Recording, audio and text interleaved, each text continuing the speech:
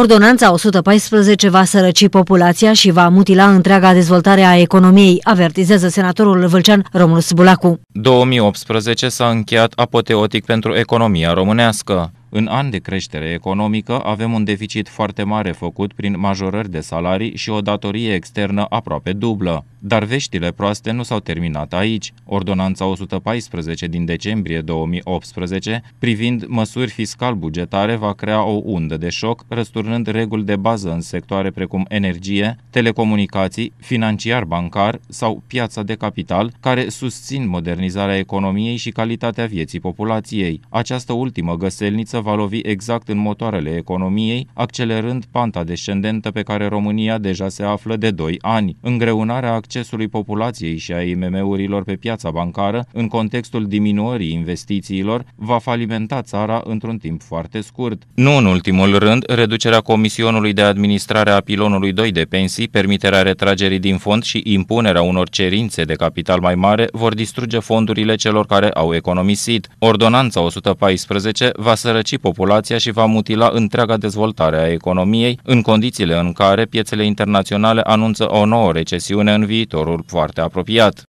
Susține senatorul Romulus Bulacu. Parlamentarul Vâlcean vorbește în termen extrem de duri și despre bugetul pentru 2019 prezentat de Ministerul Finanțelor Publice. Avem un buget mincinos care arată falimentul guvernării PSD-ALDE și care condamnă România la subdezvoltare. Analizând principalii indicatori ai bugetului și cifrele prezentate de Ministerul Finanțelor Publice și urzite la aceeași masă cu Liviu Dragnea și Darius Vâlcov, vedem o rețetă de jefuire a bugetelor locale și o soluție de furt din buzunarele românilor, care vor trebui să plătească toate măsurile populiste adoptate în acești ani prin scumpiri și dobânzi mai mari. Un proiect al alocărilor bugetare, construit pe indicatori falși, denotă doar disperarea celor din guvernarea PSD-ALDE, care cred că niște cifre ajustate fictiv pot aduce bunăstare sau pot diminua dezechilibre economice majore. Unde sunt finanțările necesare celor 8 spitale regionale sau kilometri de autostradă promiși în programul de guvernare? Nu mai există nici măcar pe foaia de hârtie. PSD și ALDE au apelat doar la scamatorii care să ascundă ineficiența și incompetența guvernării, crescând taxele cu mâinile primarilor.